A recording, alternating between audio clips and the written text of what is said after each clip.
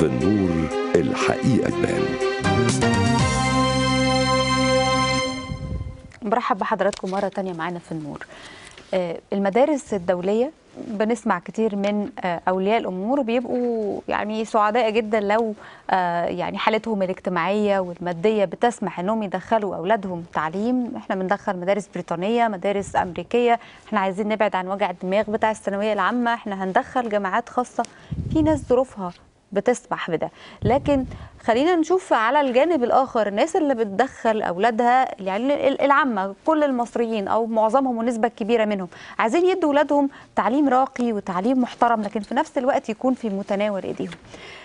ليه صدر قرار وزير التربية والتعليم في الوقت ده بمجموعة من التراخيص لإنشاء أو التوسع في إنشاء عدد من المدارس الدولية؟ ده اللي إحنا هنحاول نعرفه مع حضراتكم ومع ضيفنا اللي بينورنا وجوده النهارده دكتور صامويل عصام استشاري التخطيط الاستراتيجي والتعليم وتطوير المؤسسات. أهلا بحضرتك. أهلا بحضرتك نور. وبكل السادة المشاهدين. واسمحي لي في البداية إن إحنا نهني كل المصريين. بأعياد القيامة والخمسين المقدسة وقدوم وحلول شهر رمضان المبارك. فربنا يعيد كل هذه الأيام بكل بركة كل- على مصر وعلى المصريين. كل سنة وكل المصريين يا رب طيبين وبكل الخير. وهبدأ مع حضرتك ليه دلوقتي القرار ده؟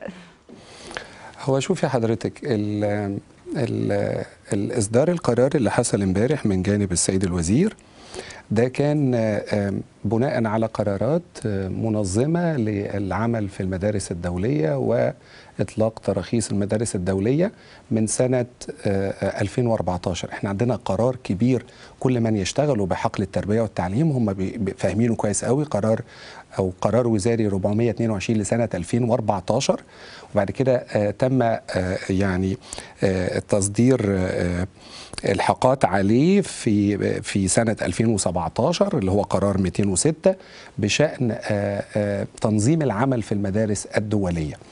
وعندنا مسمى كده اللي أصدره الوزير امبارح اللي هي قبول طلبات الترخيص، كانت طلبات الترخيص معمول عليها توقف ما مؤقت لفترة من الوقت من بعد صدور القرار الوزاري للدكتور طارق شوقي في 2017 لغاية امبارح.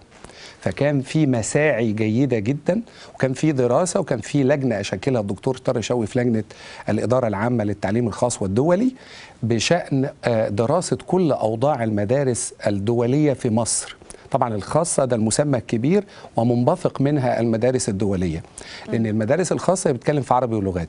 مدارس دولية اللي هي بنقول عليها ذات طبيعة خاصة سواء بيدرس هي British schools اللي المدارس البريطانية أو ال IG مدارس أمريكية مدارس كندية أو نظام ال IB اللي هو ال international بكالوريا فالموقف دلوقتي ان الوزير صرح من امبارح وصدق على الكلام ده.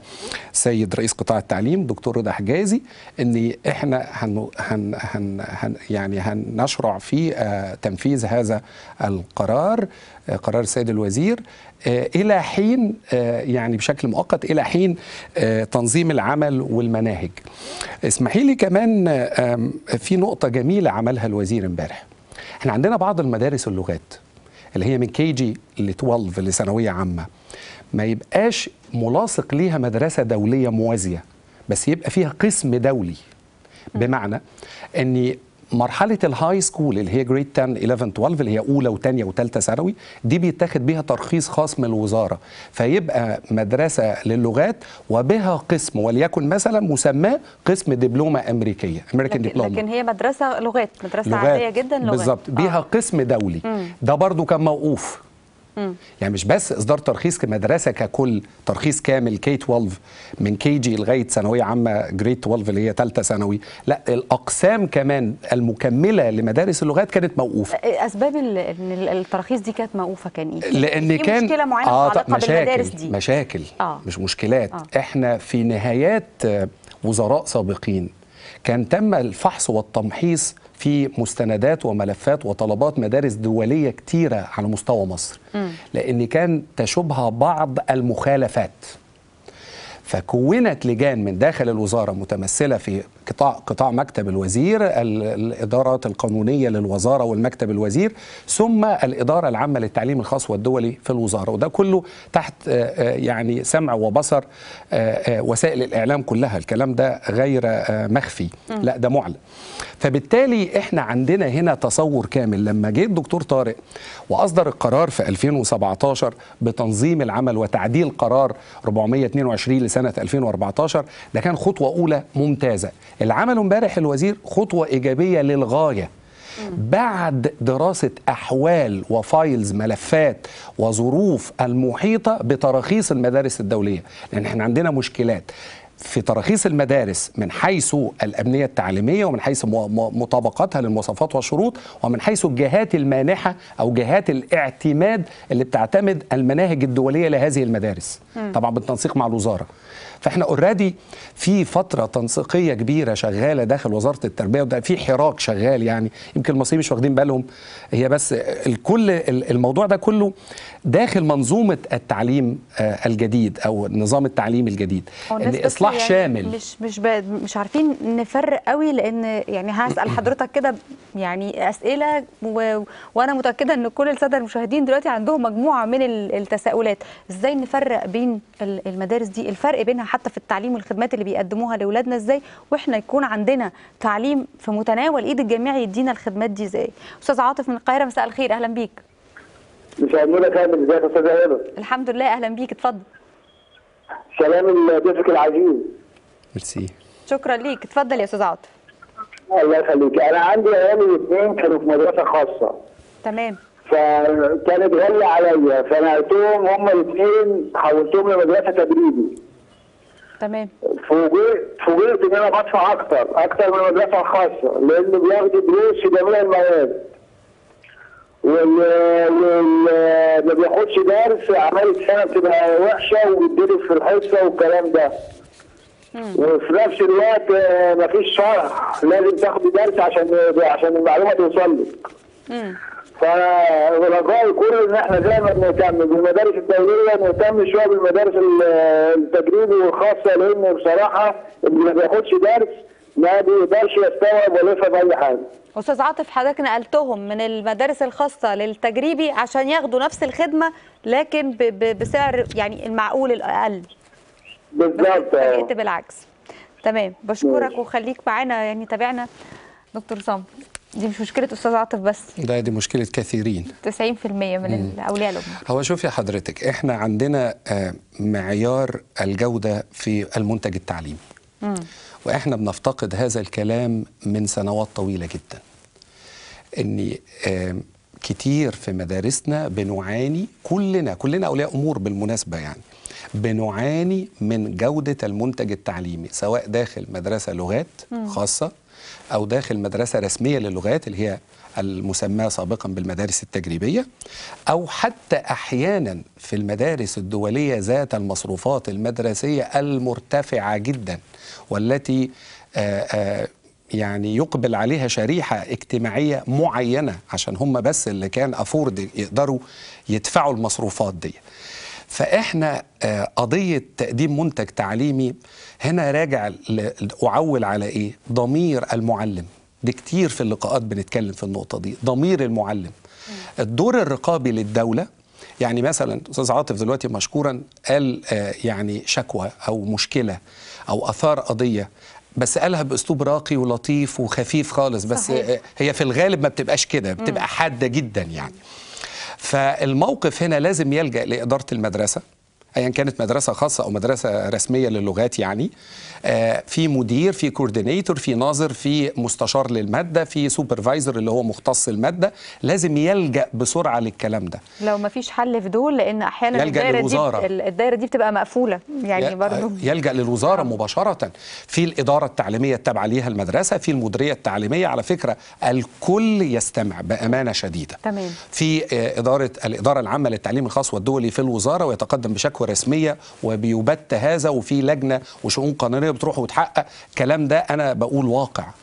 يعني في شغل بي بي كويس جدا. بس هي المشكلة إني أنا كمعلم اين أين ضميري؟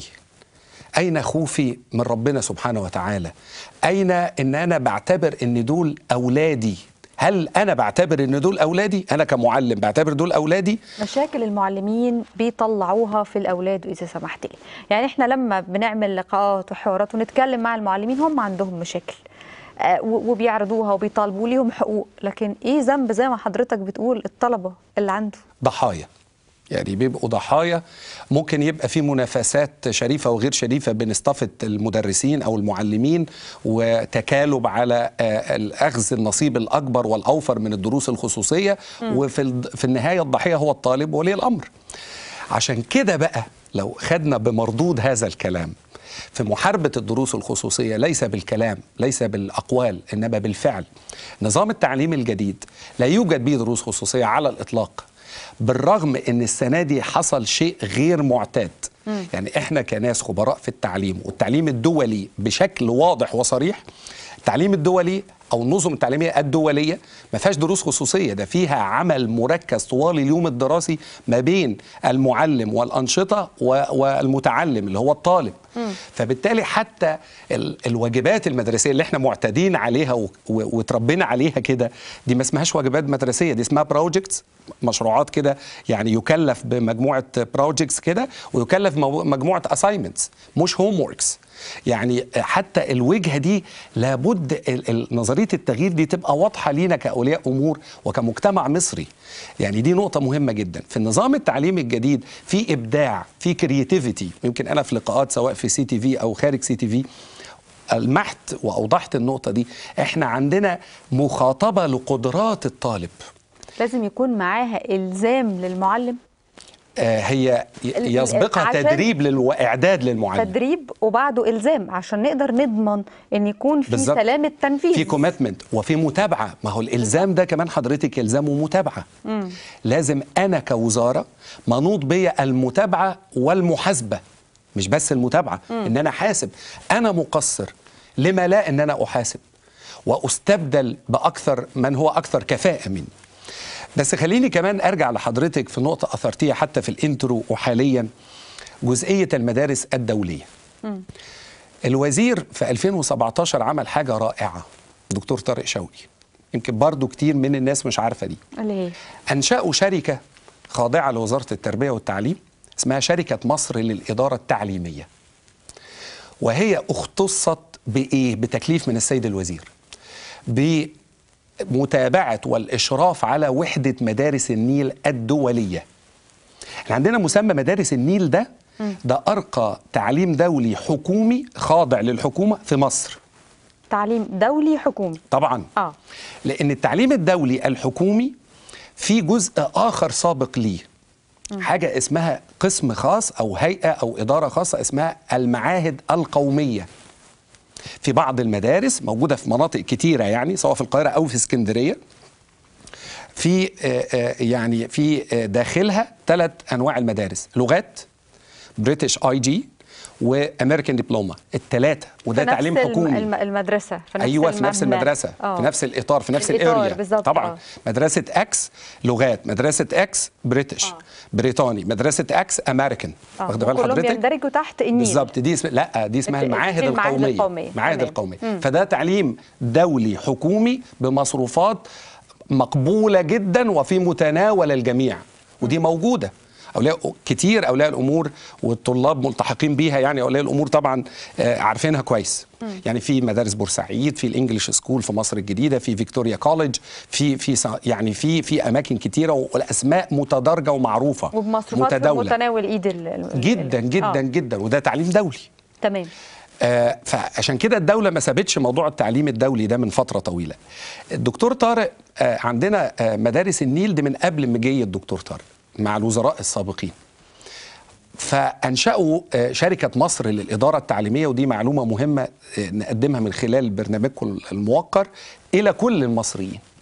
شركة مصر الإدارة التعليمية منوطة بالإشراف على وحدة النيل. وحدة النيل عاملة بروتوكول شراكة مع جامعة كامبريدج UK. فأصبح عندنا شهادتين معتمدتين في آه، مدارس النيل. الطالب لما بينهي مرحلة الإعدادية اللي هي بنسميها middle school ياخد شهادة معتمدة من كامبريدج دولية يقول إن هو أنهى المرحلة الإعدادية بضمان كامبريدج أو باعتماد كامبريدج يبقى كده شهادة بعد المرحلة الإعدادية. شكرا. تمام. يجي يخلص ال high school ياخد شهادة high school معتمدة من كامبريدج فأصبح الموضوع له standards له qualifications ليه ما بيكونش في يعني يعني حضرتك بتقول إن في كتير من أولياء الأمور وفي طلاب كتير ملتحقين بيها لكن برضو مش مفيش متسلط spotlight عليها. آه طبعاً، في نهائي. spotlight. اسمحي بس إحنا معانا مدام سهى من القاهرة. أهلا بيكي. ألو مساء مساء النور مدام سهى اتفضلي. ازي حضرتك؟ تاني الحمد لله أهلا بيكي. أهلا حضرتك. آه، من فضلك كنت عايزه اعمل مداخله بس بس التعليم الدولي حضرتك معانا على الهوا فعلا اتفضلي. بس أنا شايفة التلفزيون أوكي. آه، صراحة المدارس الدولية آه، لما بتيجي تجيب مدرسين تجيب مدرسين مصريين. آه، مش عارفة. لا معلش. اسفه إن أنا بقول كده يعني. مدام سهى الصوت مش واضح. وتعليمهم نفسي راقي. مدام سهى آه أيوة،. معلش أنا يعني صوت مش واضح شوية. المدارس الدولية بتجيب مدرسين إيه؟ تعليمهم عالي جدا وراقي أصلا.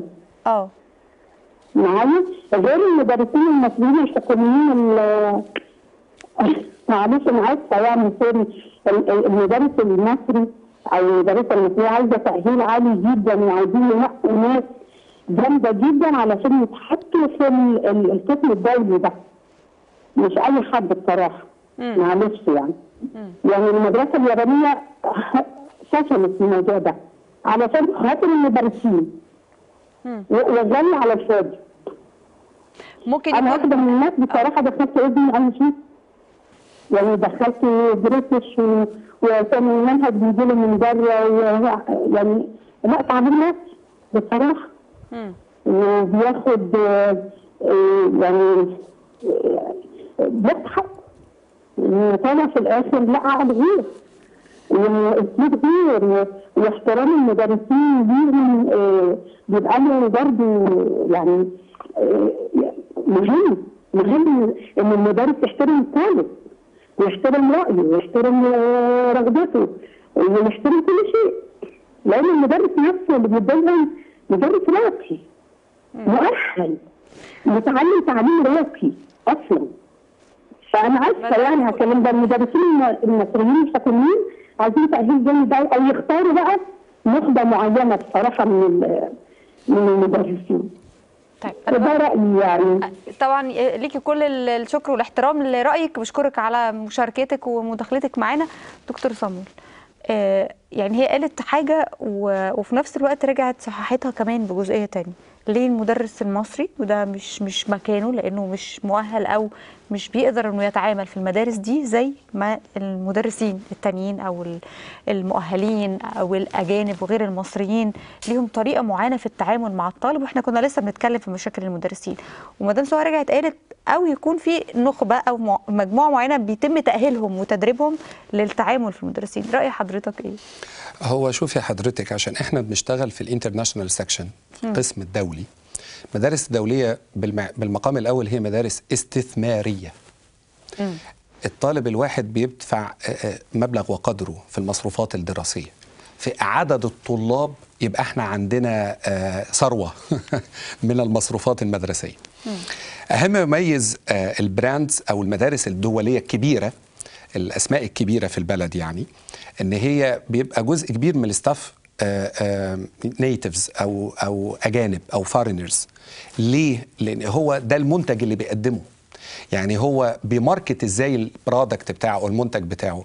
إن سيادتك كولي أمر لما بتروحي تعملي application عشان تقدمي لابنك أو بنتك أول حاجة بيست... بي- بيستقبلك بيها هي المديرة البريطانية أو الأمريكية أو الكندية whoever ال nationality بتاعتها يعني. تستقبل حضرتك آه، من على باب المدرسة المديرة بالفعل أو ال coordinator يعني. وده بيدي image فده. it's a tool of marketing كمان لما حضرتك بتعملي tour داخل المدرسة وداخل ال- الفصول الدراسية وداخل وحدات الأنشطة والملاعب وبتشوفي تجهيزات على أعلى مستوى ممكن بالمقارنة بالمعايير والمقاييس الدولية للتعليم في العالم مش في مصر بس. هل معنى إن ده م- يعني tool ال marketing ان إن ال- الواقع الفعلي في أثناء العملية التعليمية بيكون كده ولا بيكون أقل؟ يعني أنا بتفاجئ بغير كده. ده مجرد image زي ما حضرتك بتقول. آه، دي دي دي phase 1 يعني دي مرحلة أولى. okay. آه، آه، جزئية جودة المنتج التعليمي. بالظبط. ده اللي أنا أشرت إليها في البداية. جودة المنتج التعليمي varying دي مختلفة متنوعة. يا إما المكان ده عنده إدارة قوية وعنده academics قوي جدا يعني عنده أكاديميين أقوياء يقدروا يبلوروا ال image أو ال marketing ده بصورة أكاديمية قوية جدا يبقى أنا هنا كسبت اتنين يعني أنا بدفع فبستثمر. إحنا دايما نقول إحنا لما بندفع لأولادنا في المدارس الدولية مصروفات باهظة أو غالية إحنا ده بنسميه investment ده استثمار. فالاستثمار ده بدل ما ما احطه في بنك أو account أو what أنا بستثمر عشان ابني أو بنتي يحصل على قدر كبير من التعليم الراقي والتعليم ال- ال- المتميز بمبالغ طائلة طب قبل ما ننقل على نقطة تانية من نقطة حضرتك وفي التقرير اللي إحنا عرضناه وشفنا رأي الناس في الشارع يمكن حضرتك سمعت معانا أحد طبعاً. أولياء الأمور وهو بيقول هي مش فارقة واحد يعني وصلنا لمرحلة النهاردة رغم إن الناس بتدفع مبالغ كبيرة ممكن يكون في طبعا بعض ال- الفروق لكن ليه الناس وصلت لمرحلة إنها تقول مش فارقة. هاخد إجابة حضرتك بس معانا أستاذ جورج من القاهرة. أهلا بيك. فندم مساء الخير. مساء النور. لو سمحت كنت عايز بس أعرف يعني بعد المرحلة الإعدادية إيه اللي إيه اللي ممكن ان الطالب يدخله خلاف الثانوية العامة؟ بحيث يعني إيه نهرب من من موضوع الضغوط بتاع الثانوية العامة ويكون نفس المستوى. يعني في أنا سمعت على حاجة اسمها مؤسسة غربور وفي مدارس داخلية تانية وفي حاجات كتيرة بس عايزين يعني إيه تفاصيل عنها. إيه اللي ممكن بعد المرحلة الإعدادية؟ آه. تمام شكرا لحضرتك يا أستاذ جورج. آه، أستاذ فتحي من عين شمس أهلا بيك؟ أهلا بحضرتك ازي حضرتك يا أستاذ هاني؟ الحمد لله أهلا بحضرتك اتفضل. وكل سنة وأنتم طيبين واشكروا لي الاستاذ اللي قاعد يسال أستاذ حضرتك. وحضرتك بخير دكتور صامون سامعك. اتفضل. آه أنا حضرتك ابني وبنتي يعني خليني في ابني عشان بنتي خلاص راحت الكلية. في مدرسة تجريبية لغات أحمد عصمت. بلاش. أسماء. سامعانا حضرتك؟ اتفضل. يعني حتى بغض النظر عن اسم المدرسة ممكن حضرتك تقول بس المشكلة أو التجربة وإحنا معاك هنجاوب. المش... اتفضل. المشكلة إن هم في المدرسة حضرتك ما بيدوناش أي دروس وإحنا كل الدروس خارجية بره. يعني كلها كلها خارجية. يعني المدرسة ما بتديناش حاجة ولا بتعلمناش حاجة ولا أي حاجة غير نروح نمتحن فيها فقط لا غير. طب وبعدين؟ وبعدين؟ ونرجع نعاني عانينا كتير عشان الواحد يعلم ابنه. عانينا كتير. المشكلة دي تحل إمتى حضرتك؟ ويرجعوا يقولوا لنا الغيابات بتاعت الأطفال. طب علموا أولادنا في في الدروس. طب أنا ابني بينزل كل يوم بياخد ثلاث أربع دروس. يعمل إيه تاني؟ يعمل إيه تاني؟ يروح المدرسة قاعد. المدرسين ما بيدوش حاجة فاحنا مش عارفين نحلها إزاي حضرتك من فضلك عايزين حل. نروح المدرسة ولا ما نروحش المدرسة؟ يعني نعمل إيه طيب؟ تمام. أنا يعني بشكر حضرتك على مداخلتك ودي مش مشكلة يعني حضرتك لوحدك يا أستاذ فتحي. إحنا لسه كنا بنتكلم مع دكتور صامول في النقطة دي وكان بيتكلم على تدرج الشكوى. إن أنت ممكن تشتكي وتوصل شكوتك لغاية فين ويكون في تحقيق في الموضوع ده. آه طب أبدأ بسؤال أستاذ فتحي؟ آه طبعاً. آه يعني مرة تانية. آه ممكن اشتكي وما الاقيش استجابة وابدأ إزاي والتدرج ومفيش وقت. وازاي ممكن مدرسة تسمح ان يكون في مدرسين متواجدين؟ يا ما يدخلوش حصصهم يا بيدخلوا ما يشرحوش وما يعملوش حاجة مقابل ان لازم اخد درس بره. هو بس في سؤال صغير ردا على أستاذ فتحي. اتفضل. هو حضرتك كولي أمر أنا كان نفسي بس إن أنا كنت أسأله له السؤال ده. حضرتك كولي أمر وقارب ال- الفصل الدراسي والسنة الدراسية على الانتهاء تماما وإحنا في أعمال الامتحانات دلوقتي. حضرتك الشكوى دي أظن مش وليدة اللحظة ولا اليومين دول دي أكيد. من بداية العام الدراسي. حضرتك ايجابيا عملت إيه مع إدارة المدرسة ثم الإدارة التعليمية ثم المديرية ثم الوزارة. هل حضرتك وباقي أولياء الأمور آه، المتضررين من هذه الأمور كلها هل أخذتوا خطوات إيجابية وصعدتوا شكواكم و- واحتجاجكم ده للمسؤولين ولا حضرتك اكتفيت إن أنت تقولهن على الهوا؟ أنا عايزه أقول لحضرتك انه وارد جدا ما يكونوش اكتفوا بده لأن إحنا زي ما حضرتك بتقول إحنا في آخر الترم بالظبط. فأكيد كان في خطوات. مسبقة دي دي واحد في ممكن يكون بعض أولياء الأمور عندهم مخاوف إنهم ياخدوا الخطوة دي لأنه برضه خايفين على أولادهم يعني أنا بحسبها من ناحية أعمال السنة تعنت. الدرجات تعنت. يحصل تعنت طب هعمل إيه فابتدي أتراجع لأني خايف برضه على ابني ممكن إدارة المدرسة نفسها مش بتكلم عن مدرسة بعينها تكون شريكة في ده آه يعني اسمحي لي أقول لك دي بشكل أو بآخر ممكن تكون مستبعدة بس هي بتبقى مشكلة آه معيار آه الضمير عند السادة المعلمين. يعني آه، في بعض المعلمين بتصور لهم أنفسهم إن عدم بذلهم أي مجهود داخل الفصل الدراسي يبقى بالتالي الطالب مجبر إن هو يخرج يجي للمعلم ده أو يتابع المعلم ده في الدرس الخصوصي. يعني طبعا ده مفهوم ضيق جدا جدا جدا. وده آه إلى زوال. أنا بأؤكد هذا مع حضرتك. هذا الوقت القادم إلى زوال. القادم أفضل بكتير جدا لأن إحنا ال ال ال ال الهيمنة والسيطرة بالأسلوب ده هذا ليس منتج تعليمي. إحنا ترتيبنا تعليميا على مستوى العالم متأخر جدا جدا. وده اللي اعترف بيه للأسف. الدكتور طارق. طبعا. واعترف بيه آه، كل العاملين في الوزارة المعنيين بتطوير التعليم مع الدكتور طارق. فاذا هو الدكتور طارق في الأول والآخر ده مواطن مصري نفسه يعمل حاجة. بس لو لقى إن الحرب شرسة للدرجة دي ومفيش نية للتجاوب والتعاون والتغيير الراجل هيتقدم يعني مش هقول باستقالة ولا باعتذار لكن هيتقدم بشكر للمصريين وللسيد الرئيس ويقول له أنا حاولت بس ما قدرتش. فإحنا إحنا إحنا بنعمل إيه؟ مش عايزين إحنا نبقى بنقاوم ده يعني إحنا كده. نفسنا اللي بنقاوم ال- اسمحي لي أقول لك مفاجأة حلوة كمان اتفضل. عشان نرجع بس لباقي الاستفسارات طبعاً، بسرعة اتفضل. عشان وقت حضرتك والساده المشاهدين. دكتور طارق امبارح بصدد القرار اللي أصدره كان قال تصريح لطيف أنا أنا عجبني. اتفضل. على صفحته على الفيسبوك أنا متابع جيد ليه يعني. ف... فقال حملات التشهير اللي حاصلة علينا الحملة الشرسة دي اولا إحنا بنشتغل طبقا لمعايير وأهداف قومية. وإحنا آه، لقينا أنا بختصر بس لقينا إن أعداء التطوير من ذوي المصالح بال- باللفظ أهو آه، استخدموا كل الأساليب للتضليل وتشويه كل جهد وكل فرد يعمل في هذا الملف. وللأسف يتواجدون في كل ركن بما في ذلك المحسوبين على وزارة التربية والتعليم. وافيه دي مش كده برضو؟ طبعا. الرد ده وافي جدا. ده ب ب ب بشهادة وبتصريح السيد وزير التربية والتعليم. الراجل بيعترف إن في ناس بتقاوم التغيير والتعديل والنظام الجديد ده المحسوبين على الوزاره بما فيهم المحسوبين. ما هو الأستاذ فتحي والأفاضل بيتكلموا فيه. طبعا, طبعاً. يعني آه. المعلم ده المعلم ده مش محسوب على الوزارة. طبعاً. المدير مدير الإدارة مدير المدرسة وهكذا. طبعا إحنا ما بنشككش في نوايا الناس لكن عندنا نفوس ضعيفة جدا بتسيء إلى المنظومة بالكامل.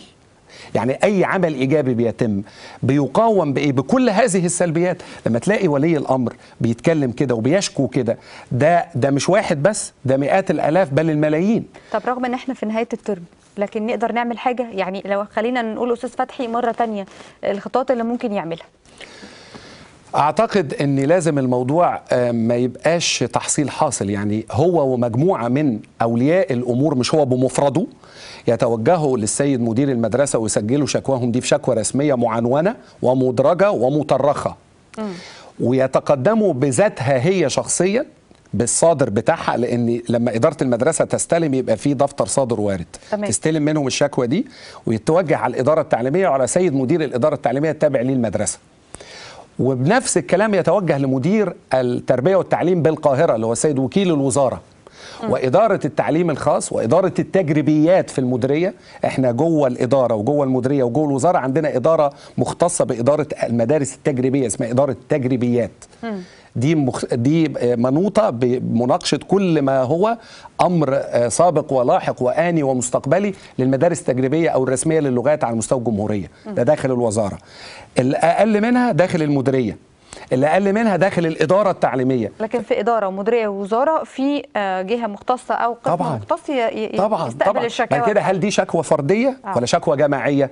يبقى يعنونوا هذا بشكوى جماعية مطرخه ويقدموها وياخدوا رقم صادر بيها عشان ده حق أصيل للمواطن المصري. هو ولي الأمر ده والطالب ده مش ليه حقوق على البلد؟ طبعا. مش من حقه يتعلم كويس بشكل كويس مش بي بي بيدفع مصروفات مدرسية وملتزم بيها؟ يبقى اذا إحنا أمام معضلة. حق المواطن فين. و و ولو لو يعني كل ده لم يستجيب هيلاقي آه، قطاع مكتب الوزير بيستقبله هيلاقي الشؤون القانونية في الوزارة بتستقبله هيلاقي مستشار الوزير القانوني الشخصي وده راجل مستشار رئيس محكمة.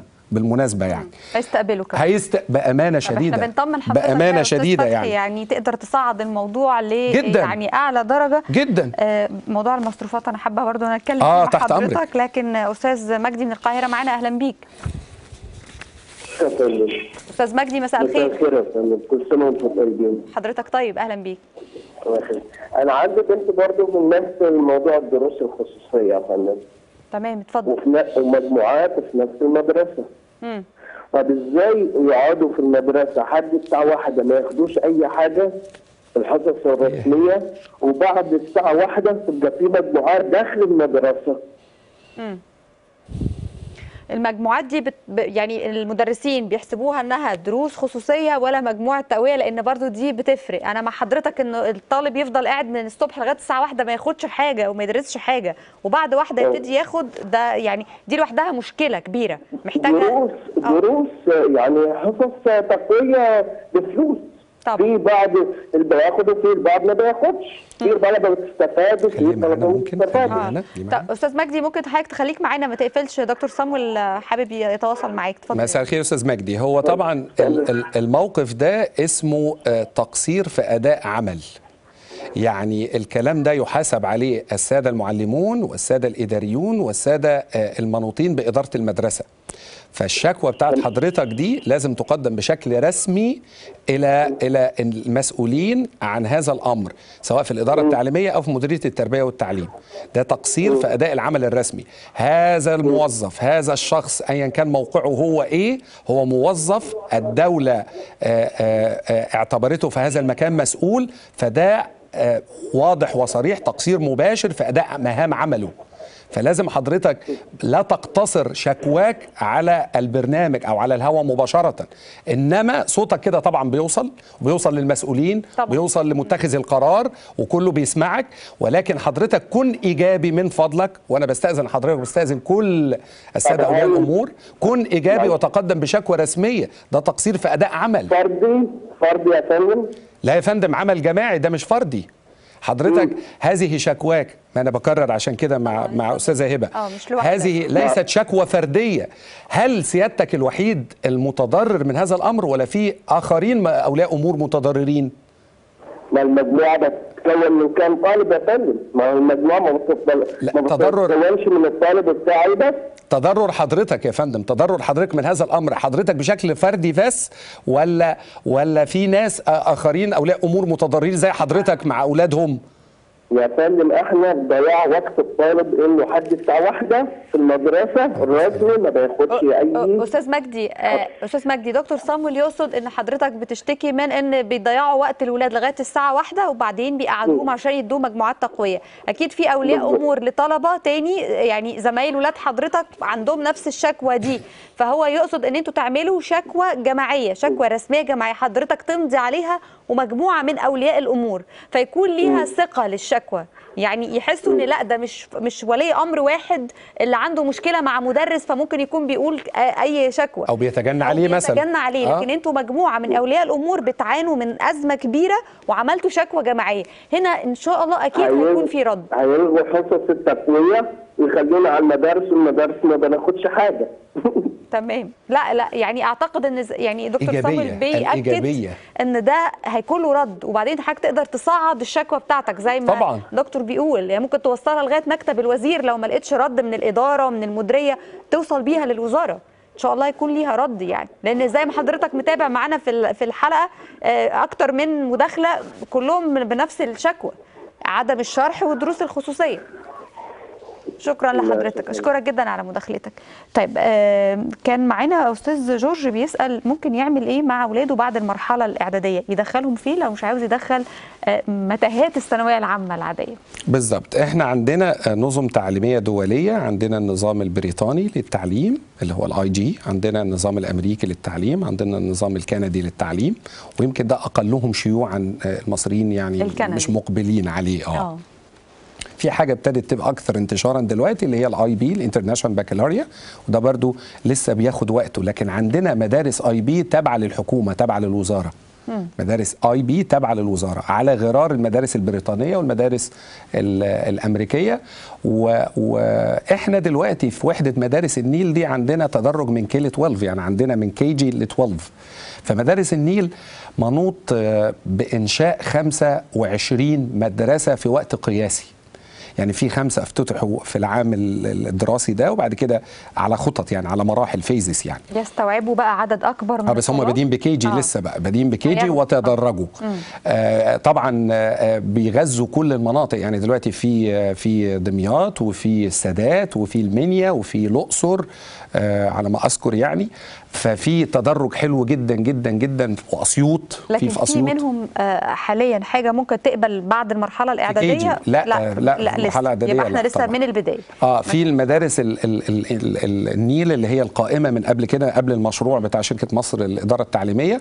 بس قصة إن يبقى في ترانسفيرنج أو يبقى في تحويلات عليها دي ليها ضوابط قوية جدا يعني. في امتحانات للطلاب في امتحانات لأولياء الأمور المتقدمين عشان الموضوع مش مش randomly كده الموضوع ليه standards معين آه لا والأولياء الأمور والطلاب استعدوا لده ماديا الموضوع هيكون في متناول ايديهم هو في المتناول هي ماديا في المتناول آه لكن لازم لكن وكمان قيمة. تعليمية مضافة قوية جدا value add قوي جدا جدا هايل. يعني آه. اسمحي لي كمان سيادتك كنت عايزة تثيري المصروفات. جزئية المصروفات طبعا. إحنا عندنا قرار للتربية والتعليم بزيادة نسبة المصروفات يعني قرار وزا- وزاري لزيادة نسبة المصروفات في المدارس الخاصة للعام الدراسي 2018 2019 وده قسمه إلى شرائح. أول شريحة زيادة بنسبة 25% للمص... للمصروفات أو المدارس اللي مصروفاتها أقل من 2000 جنيه. و20% لل 2000 إلى 3000 و15 من 3000 ل 5000 و10 من 5000 ل 10000 و7% من 10000 فما أكثر.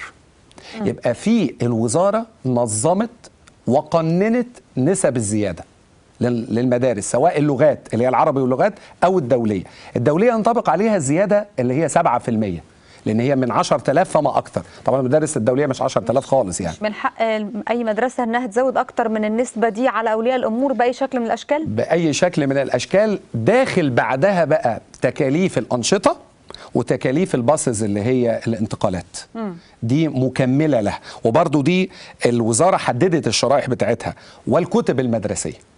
يبقى يزيد عليها ثلاث شرايح تانية. شرايح الكتب شرايح الباص أو الانتقالات وشرايح إيه ال- الزي المدرسي كمان قبل ما أنسى يعني الزي المدرسي والكتب والتكاليف الباص أو الانتقالات. فيها حاجات اختيارية زي الباص مثلا ممكن آه، اولياء أمور مش هتشترك فيه يبقى هنا في واحيانا جزئية. الزي يبقى مش إجباري. بالظبط. ف... فاحنا. بنتكلم في ال... في الأساسي اللي هو الزيادة الأساسية. الاساسيه والكتب طبعا ده أساسية. obligatory دي آه. آه آه تمام دي إلزامية. ناخد مداخلة مدام ماجدة بعد إذن حضرتك من.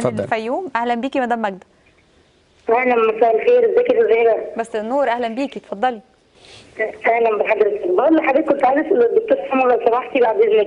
هي المدارس اللي في الفيوم اللي هي في متناول الجميع بحيث ان أنا في مدرسة خاصة ومتصدى برضه على دروس ومدارس وكده.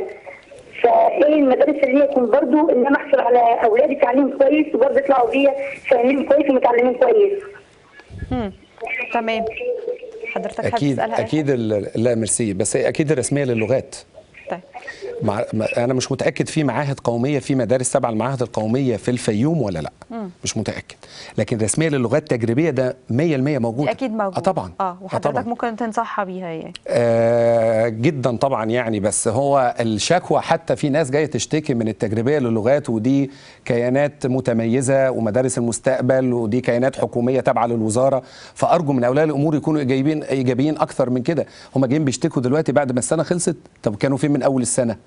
ممكن يكونوا اشتكوا يعني يا دكتور صامول يعني إحنا النهارده آه، بس أنا يمكن عشان زعلان زعلان لزعلهم إحنا يعني. إحنا النهارده عشان متضرر لزعلهم حوار كده من القلب فالناس ابتدت تتكلم لكن حقيقي. ممكن يكونوا اتكلموا معانا دلوقتي بعد خطوات خدوها طول السنة. ممكن يبقوا مش عارفين إزاي يصعدوا كمان الشكوى بتاعتهم. آه بالمناسبة دي بقى أحيانا إحنا يبقى الم- المسار اللي المفروض نمشي فيه في شكوانا آه، آه، ضيق الأفق.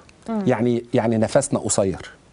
إحنا كمواطنين يعني. آه. لا الموضوع محتاج آه، آه، تكاتف ومحتاج إيجابية عشان صوتك لازم يوصل وشكواك لازم توصل لأن المسؤول ملزم هذا من مهام عمله الأصيل. ملزم ببحث شكواك. ايا كان المسؤول ده مين في موقع إيه. بلاش أقول ما هو عليا وعلى غيري لأن الكلمة دي برضو بتطلع من أولياء أمور اللي هي طب طب هعمل إيه؟ ما كلها أولياء أمور متضررين. السلبية هي هنا آه، حافز مش لطيف خالص يعني أو أو شعور مش لطيف. عشان كده بنقول الإيجابية والت والتوجه أو التحرك. وما يبقاش ولي الأمر بمفرده لأن الشكوى الفردية سيادتك أشرت ليها إن ممكن تكون في ضغينة ما أو في موقف ما بيني وبين المعلم أو أحد الإداريين في المدرسة ويبقى ده آه، موقف قصاد موقف. طبعا. لكن لما يبقى شكوى جماعية ده مش موقف فردي. فيبقى المتضررين مجموعة من أولياء الأمور لأولادهم مش شخص معين لابنه أو بنته.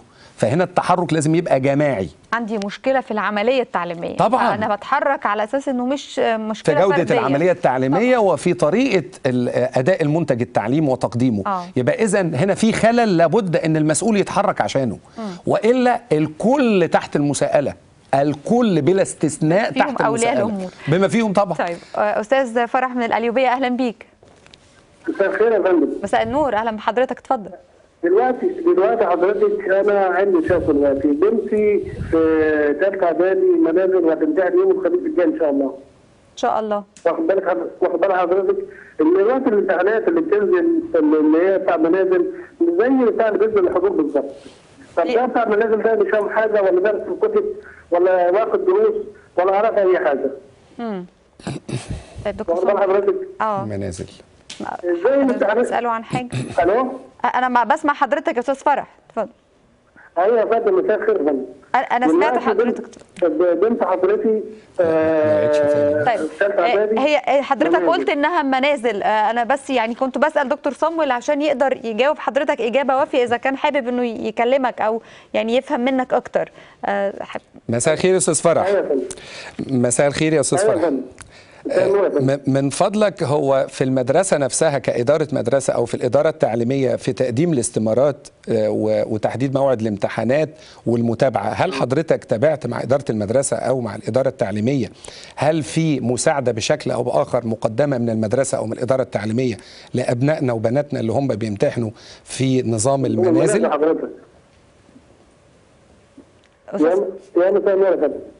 أستاذ فرح. حضرتك أيوه سامعني يا فندم أنا سامع. آه تمام. حضرتك تواصلت وحاولت إنك تفهم ال- الإجراءات أو المطلوب للامتحان المنازل من إدارة المدرسة أو الإدارة التعليمية؟ أنا سؤال حضرتك سؤال حضرتك آه، آه، سامعني ولا سامعني حضرتك؟ آه، بنسمعك اتفضل. سؤالي لحضرتك. الوقت الامتحانات بتاع ثالثه إعدادي اللي هي المنازل نفس الامتحانات بتاع ثالثه ثالثه إعدادي اللي هي الحضور. طب تمام. ما انت اللي بتوع ثالثه إعدادي اللي هم اللي هم المنازل دول مش عارفين أي حاجة خالص بيخشوا الامتحانات مش عارفين أي حاجة. عايزين حد بتاعتهم وياخد بيتهم في الامتحانات.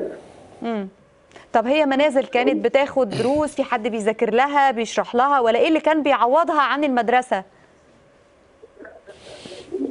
أكيد دروس. يا أستاذ فرح. حضرتك كنت بتدي للبنت دروس يعني عشان تفهم وتعوضها عن المدرسة؟ طيب الخط. هو طبعا اسمحي لي بس في جزئية المنازل. اتفضل. إحنا عندنا نظام آه، في التربية والتعليم آه، متعارف عليه من فترة طويلة إن طالب المنازل آه، يعني م- مس- مسؤولية المدرسة أو الكيان التعليمي أو المؤسسة التعليمية في انضباط حضوره في العملية الامتحانية التزامه بالحضور في العملية الامتحانية وهو الكلام ده كله. أعتقد ان آه، متعارف عليه كمان ان في في طالب المنازل هو بيعتمد على مصادره الشخصية وعلى دراسته الشخصية وعلى آه، آه، قدراته إن هو يحصل سواء بطريقة شخصية بحتة أو بمساعدة من مدرسين خارجيين. نفس الامتحان يا دكتور صامول يعني هو الأستاذ فرح كان بيسأل الامتحان اللي هيجي لثالثه إعدادي الناس العاديين جدا الانتظام. هو اللي هيجي مواصفات الامتحان لطالب المنازل لا تختلف كثيرا عن الطالب العادي ولكن بيبقى فيها مراعاة إن هو لم يحضر قبل كده في فصل دراسي منتظم يعني في عملية تعليمية منتظمة. ولكن آه، المفروض آه، متعارف على الكلام ده إن بيبقى في اجتماع لأولياء الأمور اللي أولادهم ملتحقين بنظام المنازل وتوضيح الرؤية ليهم وتوضيح السيستم وتوضيح طريقة الامتحان وطريقة التعاون ما بين ال- المؤسسة التعليمية سواء ال- المنوط بها هي المدرسة أو الإدارة التعليمية أو المديرية مع أولياء الأمور. فواضح إن ده ما حصلش. التواصل ده أو الربط ده ما حصلش. واضح جدا يعني. كله بيعتمد على معارفه وعلى علاقاته وعلى خبرات سابقة. فمن الواضح إن طبعا ال- ال- ال- ال- ال- المواصفة أو مواصفات الورقة الامتحانية لا تختلف كثيرا بس هي المشكلة إن هو واضح من ال يعني دلوقتي داخلين على الامتحان ومن بداية العام الدراسي ال- الموقف ماشي إزاي. ده اللي أنا بعول عليه على فكرة من اول كل الاستفسارات. يعني أين أنتم يا أحبائنا الغاليين من بداية العام الدراسي؟ ما أستاذ فرح دلوقتي بيقول مين ياخد بإيدين طلبة المنازل مين يقف جنبهم مين يفهمهم؟ يتوجه فورا للإدارة التعليمية فورا فورا للإدارة التعليمية اللي بنته ملتحقة ممكن بالمدرسة. تساعدوا بإيه يا دكتور؟ هتساعده في أكتر من حاجة. يعني هتشرح له نظام الامتحاني لل- للمنازل نظام وضع الأسئلة المناهج تديله آه، موديلز أو تديله نماذج آه، آه، امتحانية للامتحانات مثلا يعني أو ترشح له حتى بعض الأساتذة المتخصصين إن هم يساعدوا الأبناء. فده أظن ده حتى لو اتعمل مش بشكل رسمي ده ممكن يتعمل بشكل ودي وفي ناس كتير جدعان يعني ويقدروا يعني يقدموا مساعدات لطيفة زي كده يعني.